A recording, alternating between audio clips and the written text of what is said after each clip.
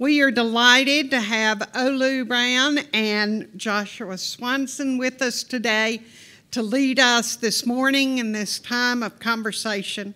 Olu, welcome back to Holston Conference. You've been a part of Resurrection and been a part of uh, Ministers' Convocation. So we are delighted to have you back and to listen and learn from you and as we think about missional hubs. He's the founding pastor of Impact Church in Atlanta, Georgia. He's the author of Leadership Directions for Moses and 4D Impact Smash Barriers Like a Smart Church. And both of his books are available back uh, in the back corner there. We, as missional hub leaders, can learn lessons from Moses in this time of dramatic shift in our denomination as we shift to working together so that we are missional and that we continue to build relationships within our communities. Joshua Swanson will be giving the Holston response. He is the son of Bishop James Swanson, and he serves at Ketram Memorial United Methodist Church here in Kingsport. He has been highly recommended by leaders of our conference. As one person said, he is one of our up and coming young pastors. So we are delighted to learn and hear from Olu and Joshua today. It's a pleasure and an honor to be here with you today, to be here in the Holston Annual Conference. Let's give your Bishop, Bishop Taylor, a hand clap for praise. Thank you so much for your leadership. Thank you. And to Rusty, always a blessing to see you and to be here with you and to Lori and to Susan, thank you so much for this wonderful invitation. And thank you for the music and the time of worship and centering. I look forward to Joshua uh, sharing after uh, we talk about leadership directions from Moses and all that is happening here with the Missional Hubs training and it's a blessing also to be joined by Phil. We're a part of the North Georgia Annual Conference, and he is going to knock it out of the park. I'm just setting it up, and Phil is going to hit a home run. And uh, for Ann for uh, switching with us last night, thank you so much. Let's pray. God, we thank you for your grace. We thank you for your mercy. We thank you for the power of your Holy Spirit. As we are guided and led in this conversation, we know that you are with us and you are leading us every step of the way. It's in Christ's name that we pray and ask it all. Amen. Well, there are a couple of resources we'll be referring to in your packets. You have this handout. If you'll pull this out, after we have uh, each point section covered, we will take about five minutes around our tables to discuss one of the quadrants that you see here, and we'll walk through that. But if you'll have it handy, there's a book that I'll be referencing, uh, Think Outside of the Building. You'll have an opportunity to see that on the screen, but this comes from the corporate world. But I think it is a great example for us in the religious community. And then I'll also be referencing these two book uh, resources that I brought from Atlanta uh, that are a part of our church, uh, Impact Church. We turn uh, 13 years old in January, and as a new start church, and people ask, Olu, how long are you going to say that the church is a new church plant? Well, I get a chance to visit churches across the country that are close to 200 years old. And so we don't even exist yet as a 13 year old church. So I figure we'll continue to say uh, we're a new church and a new start for a little while longer. Uh, the book that I won't be teaching directly from is the latest book that came out by Cokesbury uh, this last year, and it's called 4D Impact. One of the things that I found when I get a chance to travel the country is to hear real life stories from leaders just like you, whether it's clergy or lay or denominational leaders who are passionate about their community, they're passionate about their local church, and they want to see a difference and a change but need some real time tools. And as much as we love seminaries and all of the wonderful Bible colleges, I'm discovering that even a lot of our seminaries and Bible colleges aren't teaching some of the real time tools to help leaders in the ministry of the local church. And so this book really is about four key principles to have a healthier, more dynamic local church. Not bigger, because bigger isn't always the healthiest, but rather healthy and vital. And so I believe if you can lock in on these four key principles, one, being hospitality, which is huge, and that's the biggest part of the book. The second, systems, and systems can range from people to a volunteer system. A third is technology. And how do we lean deeply into technology? And then the fourth being design of worship. How do we design worship? Because if we think about it, Sunday morning is the day when we see the most number of people in all of our local churches. But sadly, that's the day that we prepare the least for. And so 4D Impact is all about that journey. Now, we're going to be teaching from the book Leadership Directions from Moses. And it's a scripture, we'll see it in just a minute or two, from Numbers chapter 32, where Moses has this wonderful leadership opportunity, and it could have changed the trajectory of what we read in the New Testament or rather the Old Testament, and of course could have changed the trajectory of what we read in the New Testament. So that's what we'll be teaching from, and I hope that it's a blessing as you lean into your missional hubs and got a great chance to hear last night some of the things that are working well, some of the things that might not be working well. But I hope you are encouraged by this weekend to know that evolution, journey, adjustment, all of those things are okay. Because on this creative journey of reaching people for Jesus Christ, we're not always going to get it right. But we have to continue to adjust and we have to continue to make room for new ideas and new opportunities to reach people for Jesus Christ. Amen? All right, well, let's lean into it. There's this wonderful scripture that I just referenced, Numbers chapter 32, verse number 5. And it's also in your packet, my handout. But if you can see that on the count of three, let's read that out loud together. One, two, three. If you.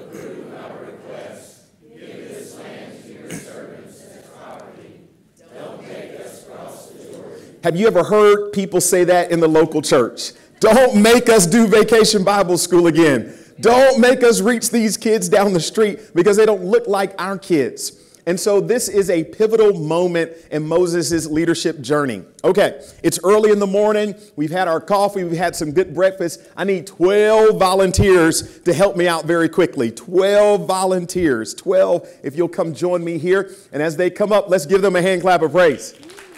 Wonderful. I'm going to use the two of you to be the Reubenites and the Gadites. Is that all right? Okay. So, when we read the biblical text in Joshua and he's dividing the land, we always assume that all 12 tribes go in. Is that right? But for all of you biblical scholars, did all 12 tribes go in? Really, two and a half tribes did not go in. I didn't fool with the half tribe in this text. I just messed around with two of the tribes, the Reubenites and the Gadites. All right, you too will be the Reubenites and the Gadites. Is it all right? Okay. So here is Moses, and you always get bad news on your off day. Susan, bad news never comes on the day that you're doing work and you've got full capacity. It always comes on the day when you decide to go golfing, or you decide to go fishing, or you decide to go to the movie. So Moses is on his off day. They have been traveling together for some time. Everybody has been clear on the vision. They sent an Instagram post, they sent a text message, they even bought an airplane to fly in the sky to say, We are headed where? To the promised land. But suddenly, on Moses' off day, two of the tribal leaders come and they basically say, Moses, we want to stay where we are. Now, that area is called the Transjordan. Can we do a little role play? Mm-hmm. All right. So Moses is in his tent, and even then they had ring doorbells. So you'll come ring my ring doorbell, and then we'll have a conversation. So I'm getting ready to golf, and you ring my ring doorbell. Mm-hmm. oh, hey, Reubenites, Gadites, how are you doing? Well, great. Hold on one second. I'm getting ready for my golf game. Oh, hey, how are y'all doing? We're doing great. Yeah, we're you happy know, right where we are. Wait, hold we on. We don't want to change. We like yeah. it here. Now, we wait. Like it. Look, we just had dinner two weeks here. ago at your house, and you didn't say anything to that, about it. We yeah, just talked about yeah, it. We, talked we don't want to change. And we just decided we, want to stay nice here. Tent. Well, yeah. Uh, I, I, like, I like the well, way you decorated your tent. We just had admin board a month ago and we had this on the agenda, and the two of you said that you really wanted to go to the promised land. Yeah, but we talked later, yeah. and, and I, I put up new lot. curtains in the tent, and I will watch In the them. parking yeah. lot, we decided. But God has a land of milk and honey. Well, we got plenty to eat here. Plenty. Yeah. Well, yeah, yeah, those United Methodist uh-huh. women will cook. Yeah. The United Methodist. and the men are going to do the barbecue, huh? Yeah, absolutely. Oh, wow. Yeah, great. Yeah, All right, yeah, pause. Right Let's give them a hand clap. don't move, don't move. Now, here is the pivotal moment of leadership for Moses, and it is the same that we face as lay and clergy. This could have derailed the whole plan. What happens sometimes as leaders, and it happens to me, is I can super focus and emphasize on the minority group that doesn't want the big picture anymore. And what happens as leaders, let's come over here a little bit. Mm-hmm. If we're not careful, we'll give this minority group all of our attention and all of our energy. We want it. But there are 10 other people, wave your hands, Yeah. who still want to go to the promised land. They still want to do vacation Bible school. They still want to reach kids in the community. They still want to remodel the fellowship hall. It's just these two who have a different plan.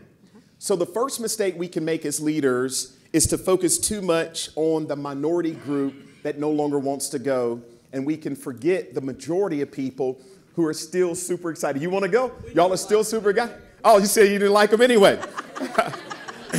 here's, the, here's the second thing that we do as leaders, and I do this too all the time. We can demonize other people for having a different vision. Yeah. Because sometimes we think, because for those of you who are clergy, we're the pastor, the vision has to come through us. Or as lay people, because we're the admin board leader, the vision has to come through us. But sometimes what happens is we have to give other people permission to live into what God is showing and telling them. Is that right?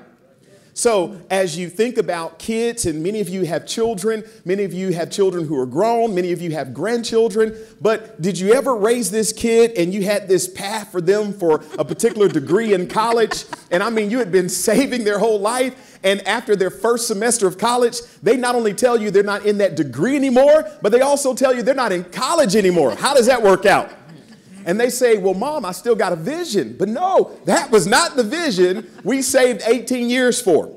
And so, what happens to leaders is we can demonize other people for hearing from God the same way we heard from God. But here's what we have to learn to be able to do it's to say, It has been a wonderful journey. And I have enjoyed I've walking with you and your families. You. And we are going to miss you. I mean, when we have our barbecue, we're going to think about you all and we're going to lift you up in prayer. But here's what we've got to be able to say thank you and what? Goodbye. And we grab these 10 and we keep moving. Let's give them a hand. Thank you. Y'all can grab your seats. You can grab your seats. Thank y'all. Thank y'all. Thank you. Thank you. So here's what happens in this very moment is that Moses and the Israelites could have gotten stuck where they were. But yet they saw that God still had a chance and an opportunity for them to reach the future.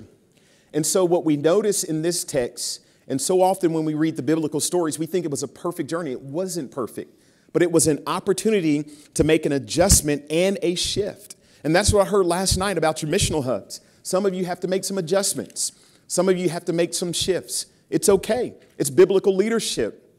Every once in a while, there's a pothole. Every once in a while, there's a detour. Every once in a while, there's a blizzard like we drove through coming over the mountain to Asheville. Every once in a while, there's a snowstorm. Every once in a while, there's a hurricane or whatever the disaster is. And so that is an opportunity to make a shift. It was a new opportunity to reach an original goal and vision, which was what? The promised land.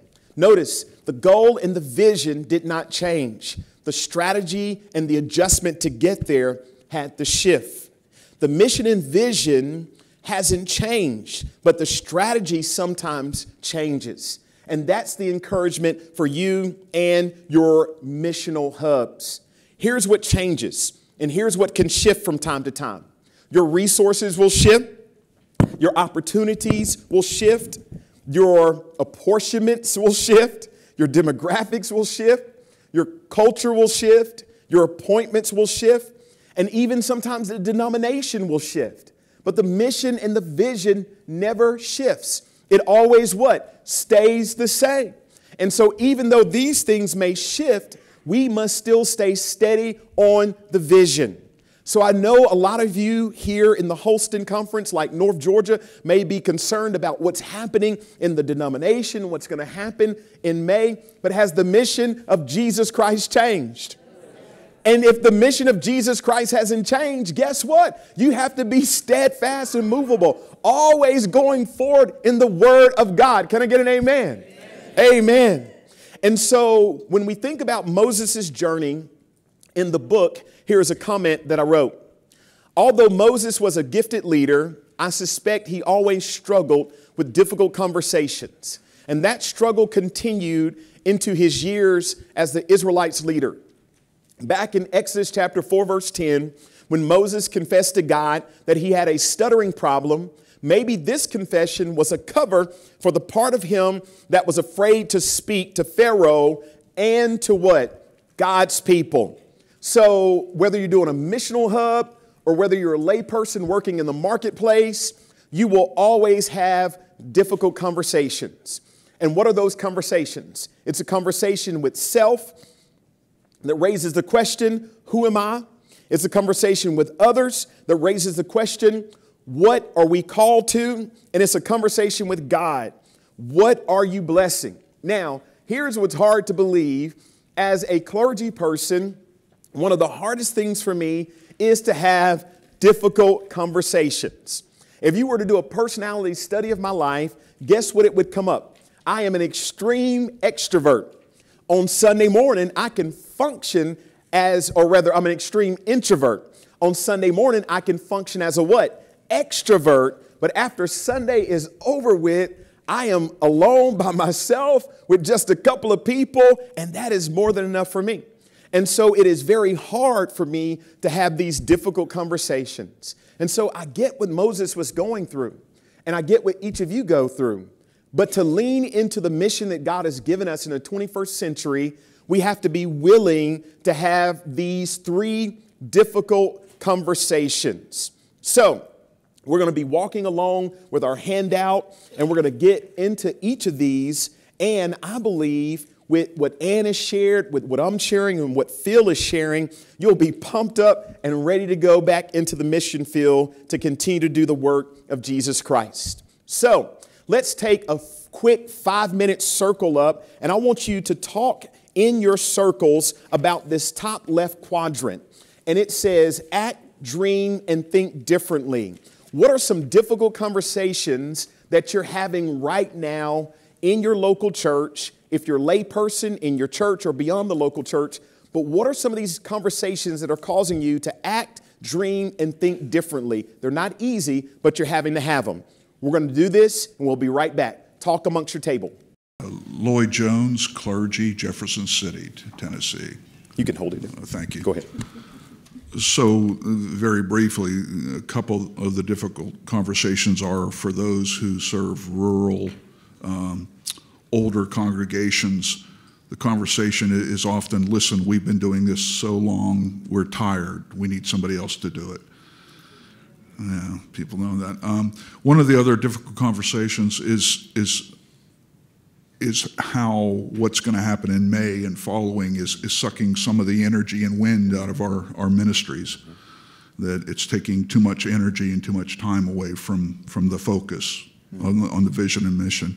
Another one is, is this idea of we do collective ministry this kind of um, dialogue about um, where our priorities should lie with, with who is actually more worthy to receive that collective ministry than others who may not be. Thank you. Thank you. One more comment. Hi, Melissa Malcolm, clergy. And we were discussing the fact that it's hard to get people to talk within the walls of the church about the things that are scaring them or are new to them. They tend to have parking lot meetings or on the phone meetings, and to get them into the walls of the church to talk about and hear new perspectives on the things they're scared of.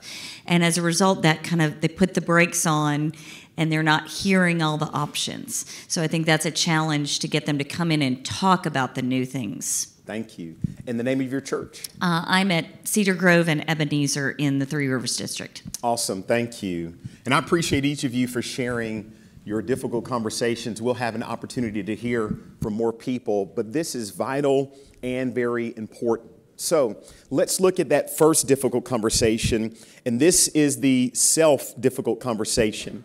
And it raises the question Who am I?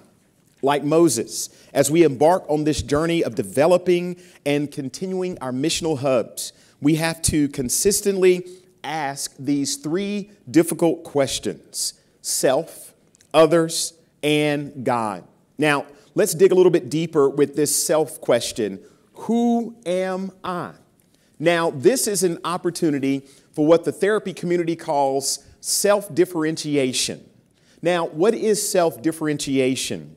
Self differentiation involves being able to possess and identify your own thoughts and feelings and distinguish them from others. It's a process of not losing connection to self while holding a deep connection to others, including those you love whose views may differ from your views. Now, the Reubenites and the Gadites may have developed some dislikes from the broader community, but they were self differentiating from the rest of the Israelite community. To self differentiate takes courage. It can be an anxious and a tension filled moment, but at the end of the day, to self differentiate means that you ask the question Who am I in Jesus Christ? Who is our church in Jesus Christ? Our district, our annual conference in Jesus Christ. And that is the power of self differentiation. We also have to do that with the missional hubs. Your missional hub, what is the difference about your missional hub that is contextual for the community or the change that God has called you to do? So, this self question is broad, it is deep, and it is vital. How do we get to this self question? Here's what we got to do you have to remember your burning bush moment. Now, this is really more of a burning tree, but you get it. It's a burning bush. That's how you self differentiate. You have to remember and recall your burning bush moment. Now, in Exodus chapter 3, verse 2, it says these words The Lord's messenger appeared to him, meaning Moses, in a flame of fire in the middle of a bush. Moses saw that the bush was in flames but it did not burn up. That was Moses' moment to say, I am different from everyone else. I know what happened with my mother putting me in the Nile River. I know being raised in Pharaohs. I know what I did to harm somebody. I know all of that. But this was the moment where God said, Look, Moses, I am setting you apart, and this is what makes you different from everyone else. One of the blessings of the United Methodist Church is that we are a connectional community. But one of the challenges of it is that we don't always do the difficult soul work to determine, as United Methodists, what is God calling us to do in this community. What works in North Georgia might not work in Holston, but it doesn't make the ministries any less, but rather it makes them different. And it's hard work to determine who we are individually and collectively in Jesus Christ. See, this was the moment when Moses' destiny connected with his entire life journey and he was deployed to deliver his people from bondage. That's when Moses says, I got it. This is what I'm called to do, and this is what I'm called to be. People might not like it. As a matter of fact, Pharaoh's gonna try to kill me, but I am different, and this is why I'm different, and I'm willing to give the rest of my life to it.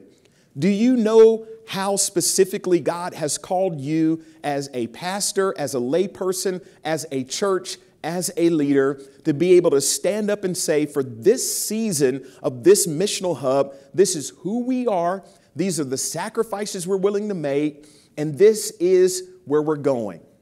Now, so often when we say this word self, we think individual, but can also take on a collective meaning. There is this company in Atlanta, Georgia, where their corporate office isn't too far from our church. And there are some folks who are part of our church who work for this corporate office. And it is a wonderful company called Chick fil A. Can I get an amen for Chick fil A? Can I get another amen for sweet tea?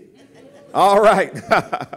now, let me give you an example of individual and also corporate different differentiation. I have been a charter member of Chick fil A for some time. Uh, there are seats and benches and stained glass windows that my family helped purchase. I'm telling you, we have been a charter member for quite a while. So you can imagine when I came to worship one day, not on a Sunday, because we don't worship on Sundays at Chick fil A of church, but when I came to worship on Monday and I walked in and they gave me the order of worship, somebody had changed the order of worship. Can you believe that they changed it and did not even consult me? I mean, the owner operator, the pastor, had my number, had my email, and he knew that my family had been members of this church for 50 years. And they had the nerve to change the order of worship. What did they do? They changed a menu item. Do you know the menu item they changed? The number nine. I almost lost my mind. I said, Who do you think you are? And so I'm a good church Methodist, and the first thing I did was pull out my book of discipline. And so I said, okay, here's what I'm going to do. I'm going to write my district superintendent. So I wrote the district superintendent of the church of Chick fil A, and the district superintendent responded and said, Thank you, Brother Olu, for being a charter member of the church of Chick fil A. We understand your concern, but as the district superintendent, the pastor of that church has right and authority to work with the other members of that church to change the menu. So I pull out my discipline again. I said, Well, who's higher than the district superintendent? I said, I'm going to write the bishop. And so I wrote a note to the bishop and I said, Bishop of the church of Chick fil A, I want you to understand that I went through the hierarchy of the church and I have not gotten my issue addressed. And so the bishop writes back to me and says, Okay, we hear your concern, but we want to let you know why we changed the menu item. And here is why Chick fil A changed the menu item. Number one, the sales were declining. Number two, it was more trouble than it was worth from an operational perspective. Number three, clear out the old and make way for the new. They're calling me old. and number four, millennial dollars rule, and it definitely appeals to a what audience? An older audience. You're telling me you took away something I loved because it wasn't making money, because to put all of the menu items together was more trouble than it was worth. You mean you were dreaming of doing something new as a company and you weren't willing to let me hold you hostage to where you've been because I like the number nine, but yet you're dreaming about a number 20? And because I'm so passionate about a number nine and my family's connected to a number nine, you're telling me you don't love me enough to let me hold your vision hostage? And then after all is said and done, you're calling me old. And so the bishop says, oh, Olu, I want you to know this is why we changed your worship order. And here's what we want you to know. If you like the number nine so much, and if you want to keep us in the number nine era as a company, here's the menu. You can make it yourself. They said, if you love it that much, and you want to hold us hostage to where we used to be and to keep us from where God is taking us to, here are the ingredients to the number nine. Now, here's what's crazy I am still a member of the Church of Chick fil A, and I still go about three or four times a week. I still pay my tithes and I still pay my offerings. And guess what? I have not made the number nine a single time. Now, I want to say this for all of you pastors. Most of the people who are complaining, just give them the menu and let them make it themselves, and, and they'll stop complaining. But here is the note, and it's a funny note. It's a corporate example, but it's also a self example. And I appreciate Chick fil A because they weren't willing to hold me hostage to my image of what they should be as a company. And so often in our churches and in our leadership roles, we are acting out of images, not of who God has called us to be, but about what people need us to be and about what people want us to be.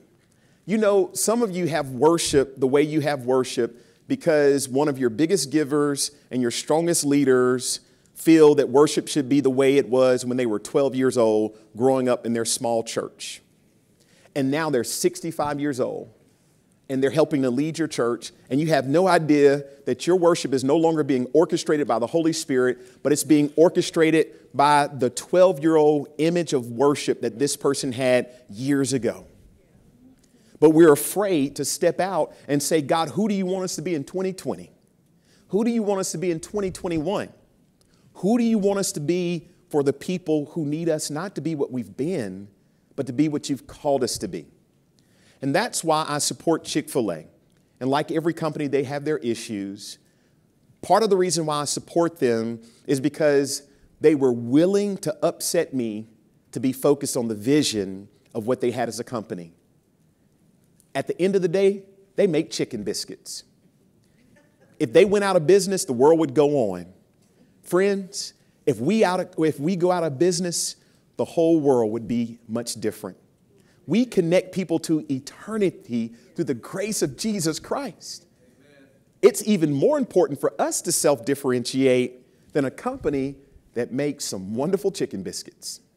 All right, so I want you to look at your handout, the top left quadrant. itself, who am I? Remember your burning bush. Now, we're going to take another five minutes here. I want you to begin listing, and you can do it from yourself individually. You can do it from your leadership role in the church. For those of you who are lay, it can be church, it can be the marketplace. If you're with your missional hub leadership team, you can do it for that. But I want you to take some time in this quadrant to self differentiate. What is that burning bush moment when God gave you that vision? What was that vision? What was the purpose of that vision? And what do you see as the future? Once again, you're not doing carbon copy, it's self differentiation or collective differentiation it is the unique call that God has on your specific life or the ministry. My friend Sarah, she has a testimony. Uh, she's going to be one of our two comments uh, that we'll have about this self conversation. But she had an interesting interaction with the church that we're both members of. And then if we got one more person who wants to give a commentary about this self.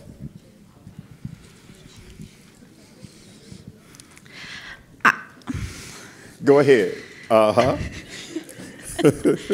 okay. My name is Sarah Varnell. I'm clergy. I'm about to turn 37 years old. I have three small kids. I worked at Chick fil A when I was in high school, starting at age 14, and I learned that my favorite meal was the number five eight pack. Okay? And a few years back, I went to Chick fil A with my kids swirling around me, and I ordered their food. And then I said, I'd like to have the number five eight pack. And that sweet little girl behind the counter said, You mean the number three eight pack? And I said, Um, no, I mean the number five. And she said, Oh, no, it's a number three now. And I said, Hold up. It has been a five for 17 years. I worked at Chick fil A and it was a number five. And it's been a number five through my 20s and it's been a number five when I've had kids. Like, y'all, literally, this is the meltdown I'm having in the Chick fil A at Fountain City with all the people behind me. And she's like, It's really, it's just one little change. It's just a, it's just now you say number three eight pack. And I said, Okay, you do what you have to do to get me an eight pack. And I went and I sat down with my kids, and y'all, for I'm embarrassed to tell you this, but for weeks afterward, even still now today, sometimes I go and I order my number five eight pack, and I say it like this: I like the number three, formerly known as the number five eight pack. because change is hard, yeah. especially when it's been that way for as long as you know and you raised your kids. Okay, whatever. Thank you. All right, let's give Sarah a hand clap. One more comment on self question. Anybody else want to give a comment on self? Self, self. Yes. If you'll tell us your name and where you're serving. Yeah, Melissa Smith, uh, Smoky Mountain District and clergy. Monty helped us understand that uh, maybe a part of our challenges as churches is that it's been a while since we've had that burning bush experience. Mm that maybe it's just been business as usual. We've gotten complacent wow. and we've just done what we've always done. And uh, that's still something that I'm still trying to process as individuals, but also as churches. Wow, thank you. Let's give them a hand clap for their comments. And so we see self differentiation can be difficult because of change. And as we see the number five, now that's the number three. And then from the comment that we just heard, of what it means to forget or not remember or the distance from that burning bush moment. And so, this is what we see from Moses' leadership as it relates to this question around self who am I or who are we? And this is important for what we call our missional hubs. Now, let's shift on to that next question. And this is about others. And when we think about others, it is what are we called to? So we go through this moment of self differentiation. And then once we determine this unique call, this unique purpose, this unique vision, then we collectively bring that together and we say, okay, what is the mission field? What is the vision?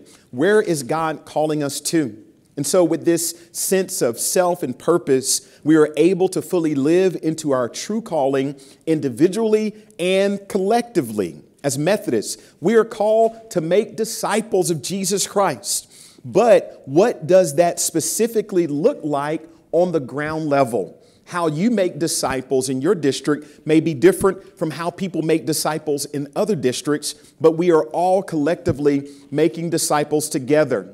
I love looking at churches across the country and their different missional hubs, from food pantries to quilting ministries to voter registration drives, after school programs, car repair ministries, local and global missions, adoption and foster care programs, community cleanup, home repair. Church in Georgia, just on the news on yesterday before we came here to the Holston Conference, they made the news because this local church understood that there was a local public school where individuals in that school could not eat lunch because they had not paid their lunch fees. This local church paid the lunch fees for the entire school. Isn't that amazing?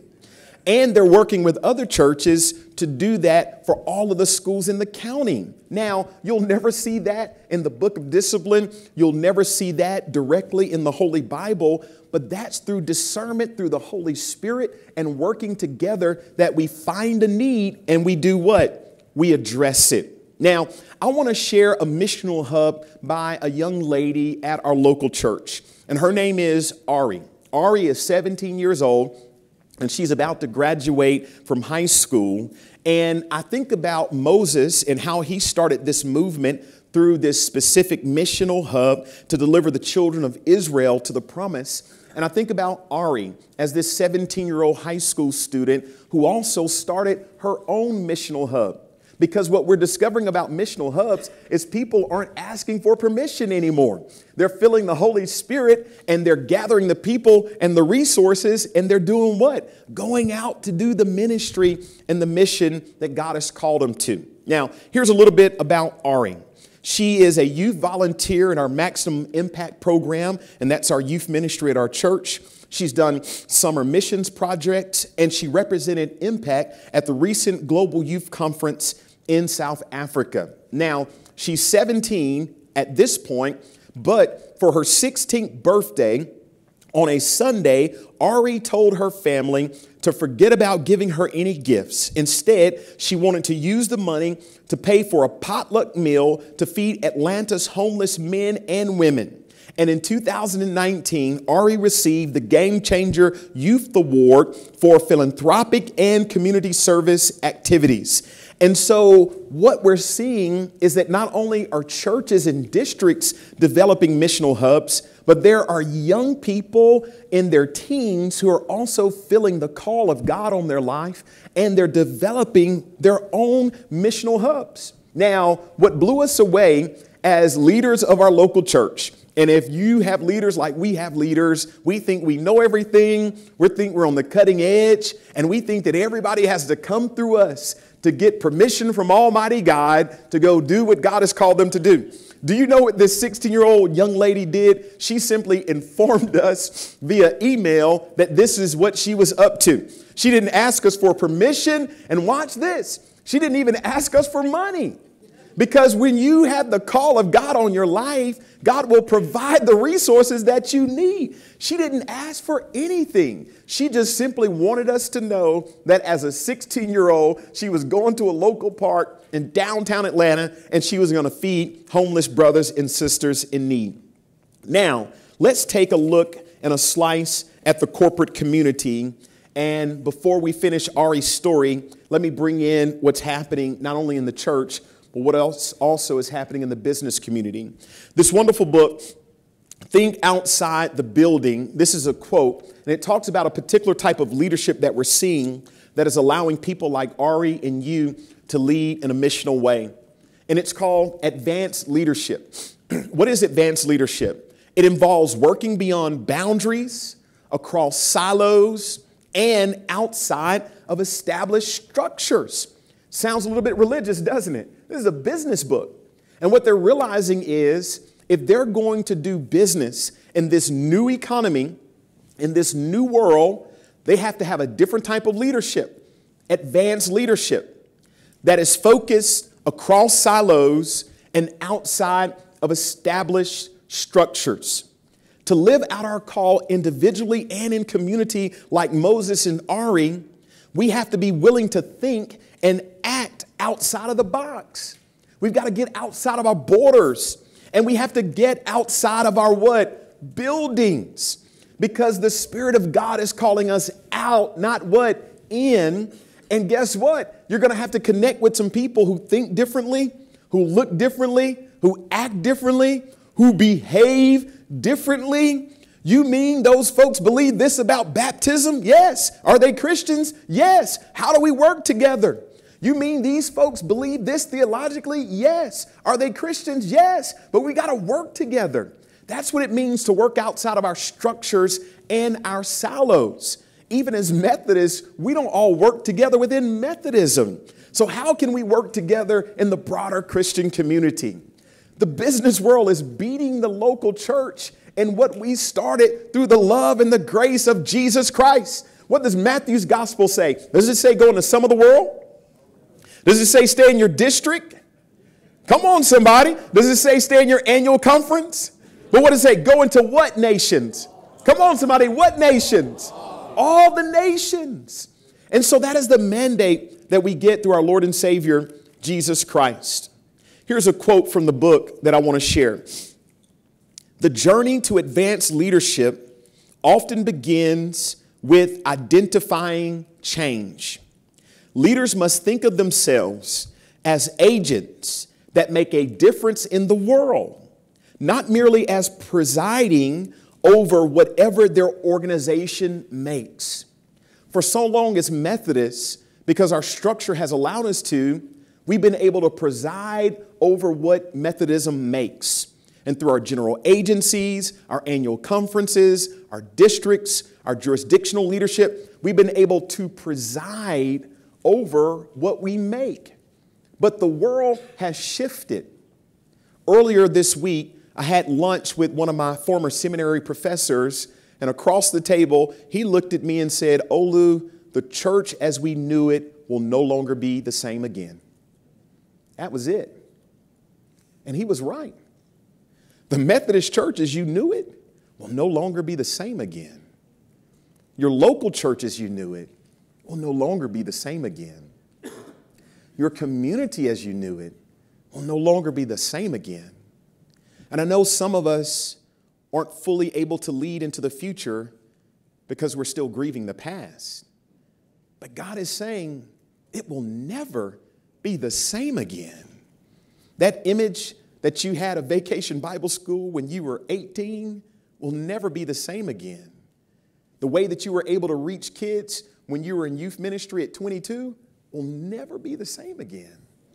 The way that you were able to stand up and convince people to give in an offering plate just simply because you're a church will never be the same again. The way you were supposed to put on a shingle and it was a great Cokesbury sign that said church starts at 10 o'clock. And just because people were raised in a way to where they believed, no matter what they did during the week, that they should be in church on Sunday morning, that world is gone.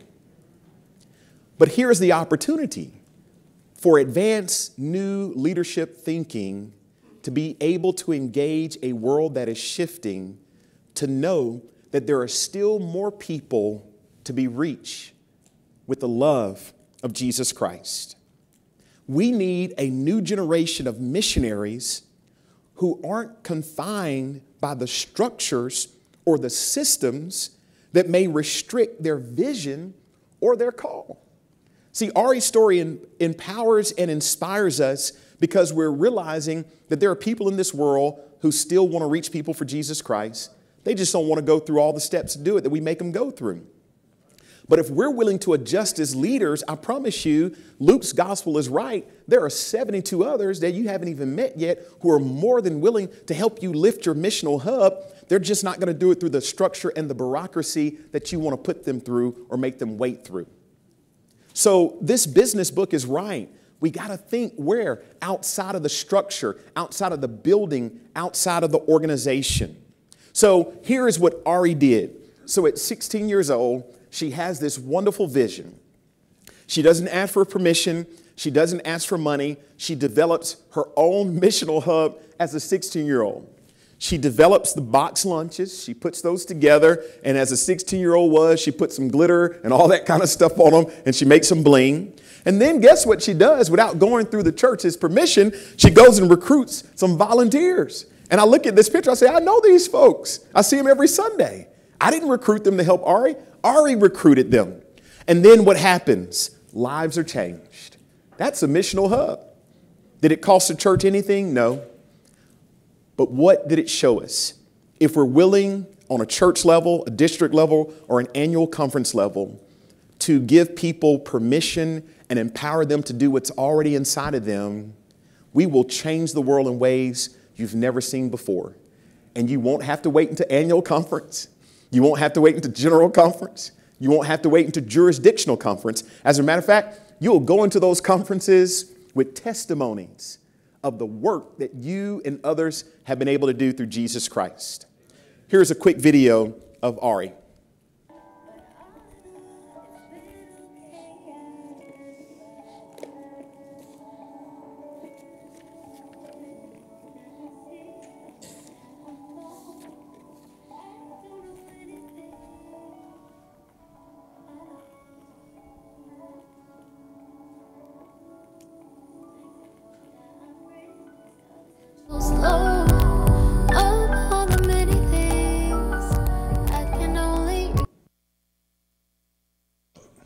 That's Ari's story. A R I. A R I. Yep, A R I. And you can follow her on Instagram too, uh, because she would love your support. So that's Ari's story, and that's also Moses' story, but it begins with this deep self conversation and it shifts from self to others. So pull out your handout again, look at your bottom left quadrant. Others. What are we called to? Now, here's where I want you to spend the next five minutes to talk about what are some hub opportunities. Now, we've been setting this thing up. and did a great job of this creative thought and how we can use what we are creatively in the work of God. Phil's going to knock a home run.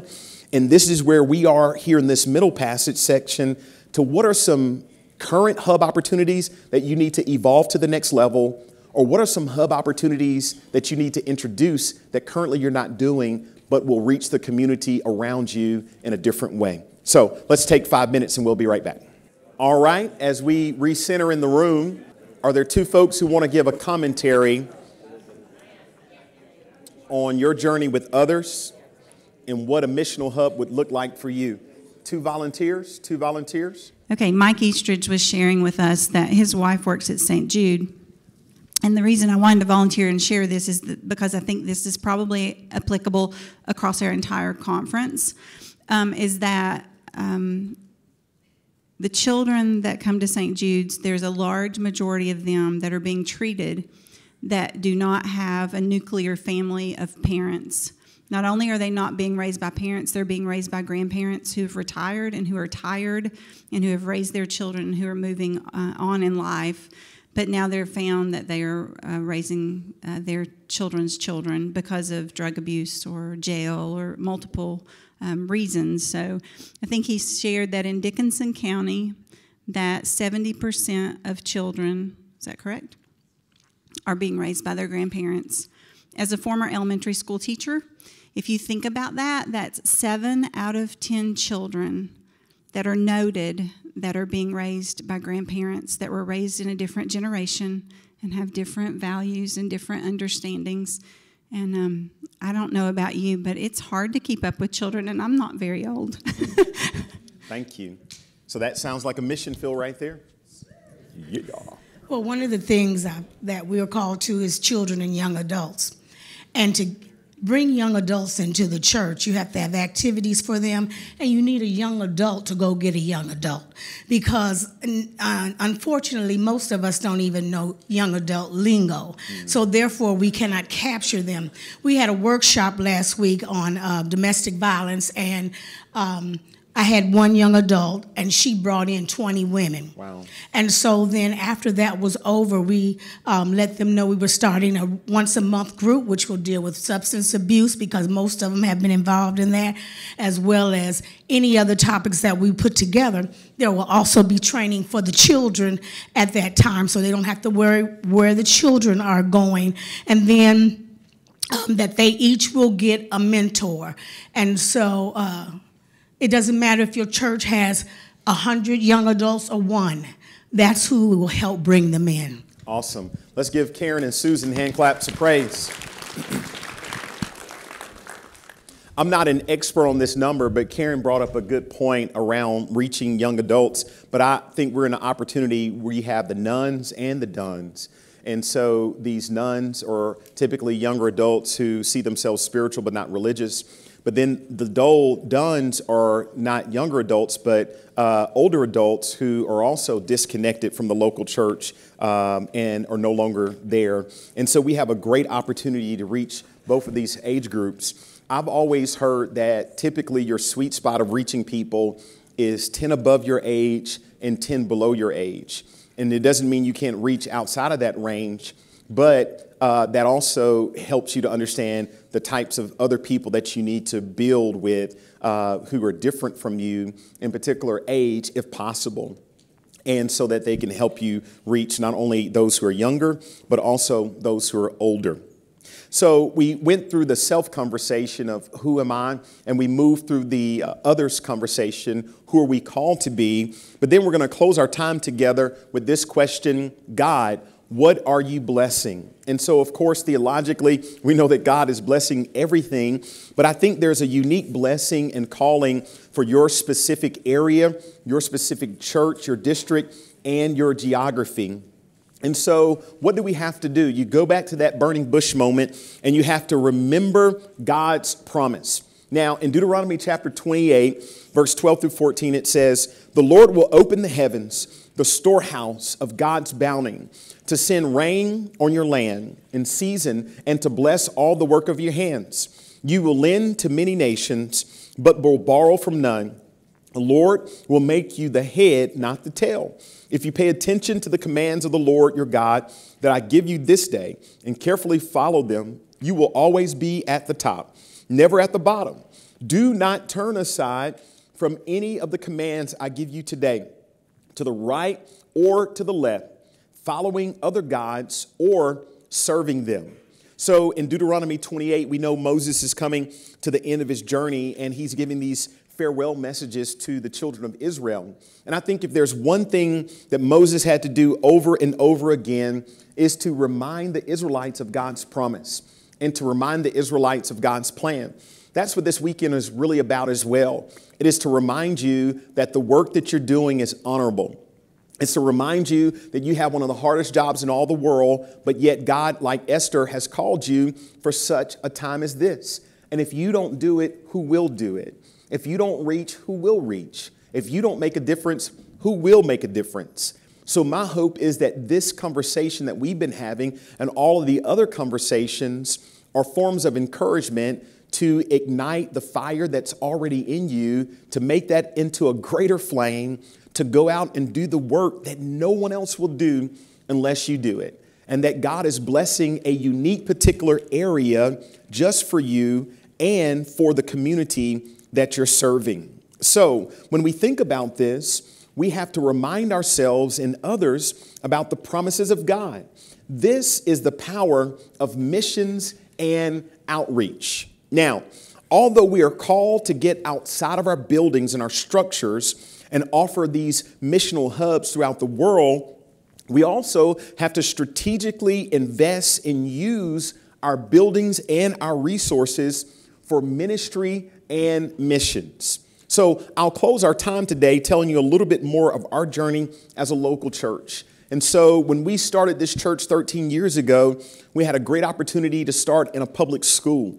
And after a few years, we were able to locate a property. I remember the person we were working with, who was a real estate agent, almost quit because it became a daunting task. We were telling this person, we don't want a church building. We want a missional outpost. It needs to be close to public transportation. It needs to be a former school or a former warehouse or a former retail space because we want a space that has been a blight in the community, and our very presence there will be an uplift to the community. So, hear me when I say you should not get rid of your buildings, you should not get rid of your programs, but you've got to use those strategically for the mission field of Jesus Christ.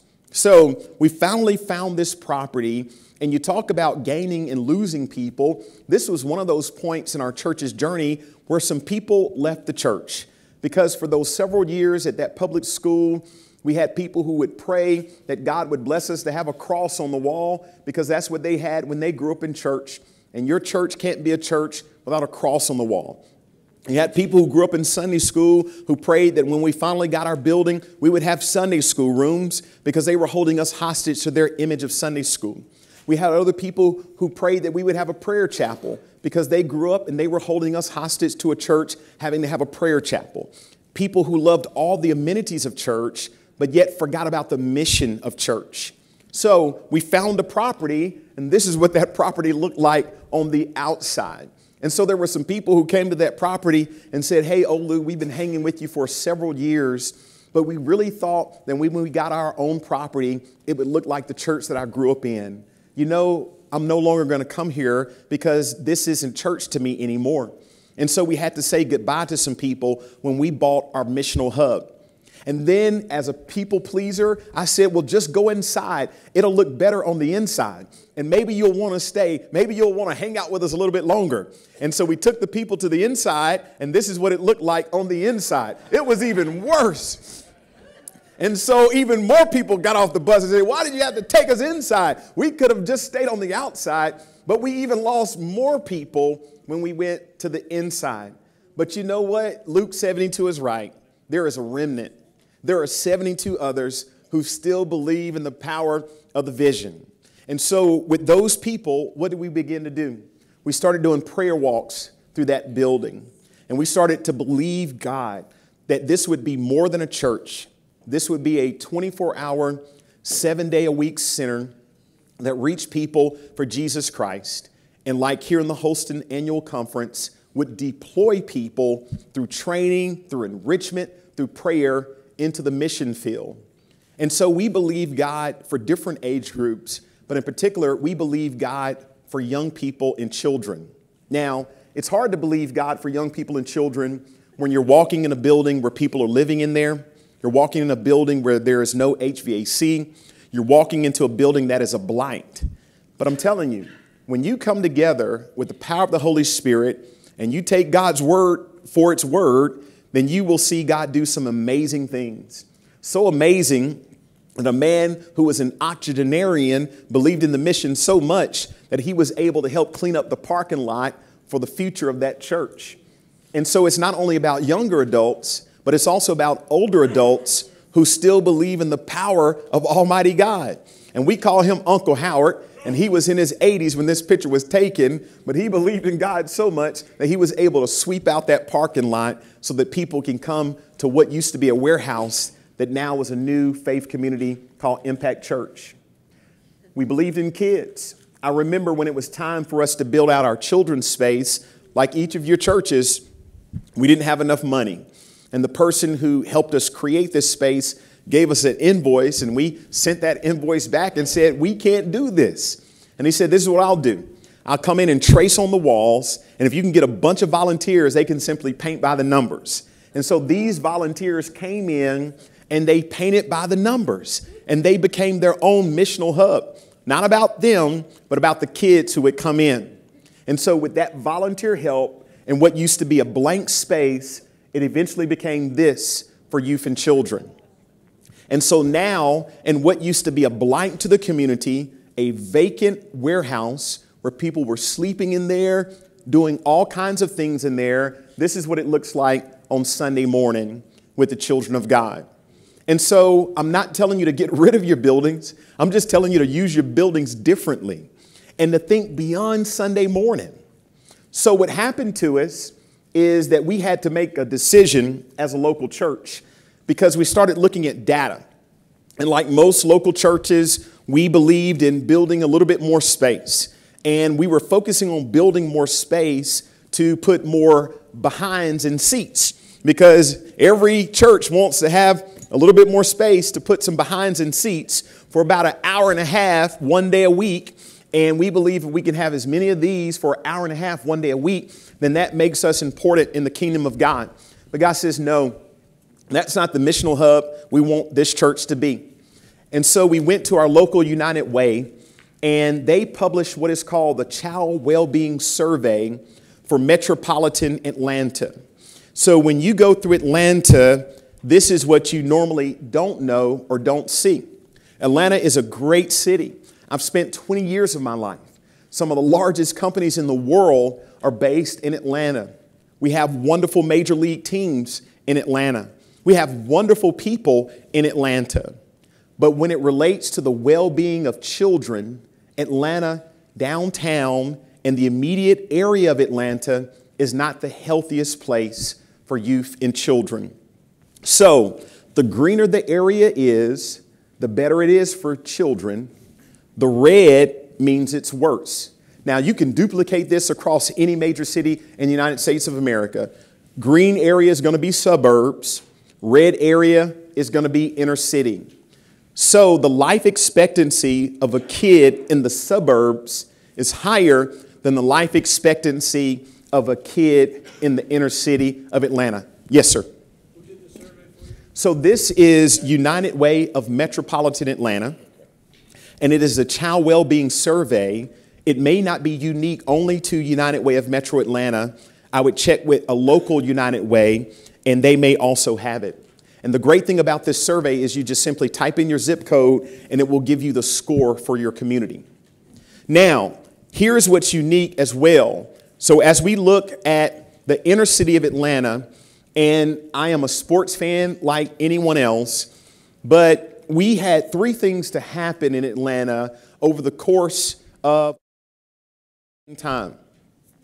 We uh, built a more than billion dollar uh, football stadium called the Mercedes Benz Stadium, and that is the new home of the Atlanta Falcons, or yeah, the Falcons.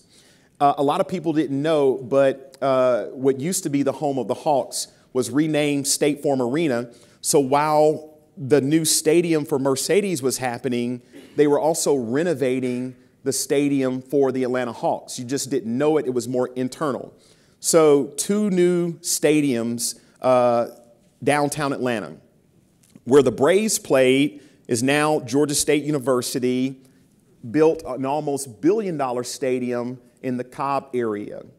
I've traveled the country a good bit, and I haven't seen anywhere in the country where a city has renovated or built new major league stadiums for all of their major sports at the same time. So Atlanta is unique to that. Have no issue with that. It is a tremendous blessing. Here is the challenge for me. Across the street from that billion dollar football stadium where we play less than 16 home games, and if you watch this this past year, we didn't have a great season, it's a red zone for youth and children. Across from a billion dollar stadium and the Hawks Stadium is in walking distance.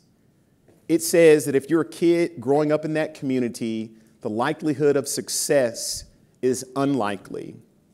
And social scientists will tell you that the gap never gets closer, that you are literally born into a cycle of poverty that you will be into typically for the rest of your life in our community so that the red can change to a lighter color within the era of our leadership. And so that's our missional hub. And that's how we're utilizing our partners in the community and that's how we're also utilizing our building. So, these are the three powerful conversations and questions it's self, who am I, who are we? It's others, what are we called to be in this present generation? And it's God, what are you blessing in our context? And so when we ask God that, God says, Look, if I hear y'all praying one more time about what you need to do in your local church, I'm going to be sick. God says, Here's what I'm blessing. The question is, what do you want to do about it?